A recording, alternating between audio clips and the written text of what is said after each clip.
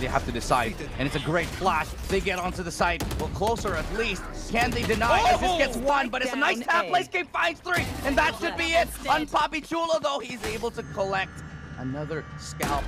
Name 2v3 Papichulo in pro. This one is for tournament life. South built. They could go out right now in this very round. tehbotoL, Blaze King, and BerserX. There is the Hunter's Fury available, but Blaze King cannot reposition. He's committed to under.